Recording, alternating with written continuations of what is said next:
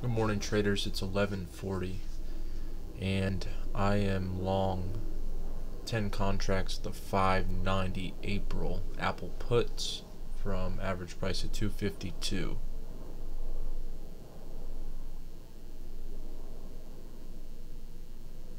only risking 12 cents on this trade.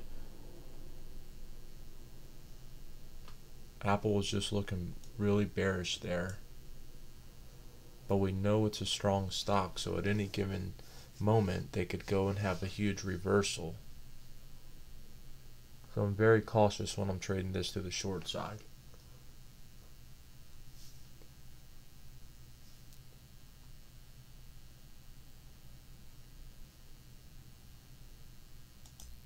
Alright, so Apple is moving down sharply and my options aren't doing anything. They actually decreased in value.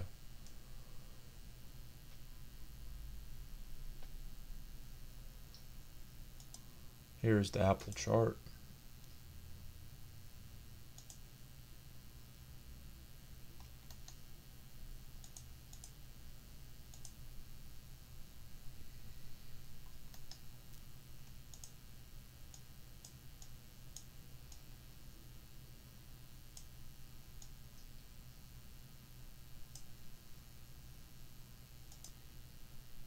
I just got an order in at 254.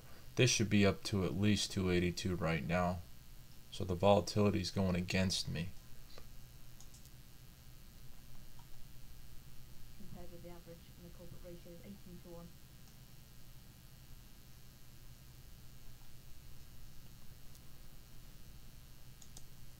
In my last video I told you that I was long crude oil and I'm still long. I got a good entry on it.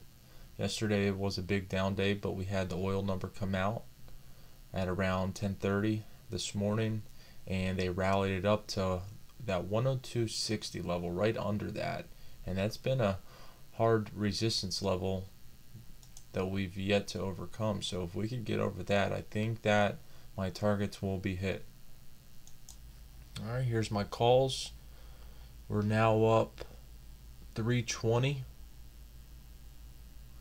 87's coming through we're at a support level here, so probably going to look to take some profits. 91s. So it is 10 minutes now for a couple of hours, so that's 5 London, midday New York or 11 Chicago. Looking out for any potential comments from Lockhart, who has already been on the wire today, but speaking at a markets conference. And as a reminder, so you, we've seen it continue to go up. I got my fill. I made 390 on that trade. And that was a 10 contract trade. And that only cost me roughly $2,600, actually $2,500 to put that on. So that was about a 30% return on, on my investment. Now, the more money you have to invest, the more you're going to make. If you would have purchased 100 contracts instead of the 10, then you would be up $3,900 on that trade. Now, I've been short this frozen concentrated orange juice for a while now. Alright, I'm not sure where I left off. The guy just came to deliver my lunch, so I'm going to make this quick. I've been short the frozen orange juice for a while. They came out with a report that said that there's going to be an inactive hurricane season. So the prices were driven down. That's one of the catalysts that made them go down.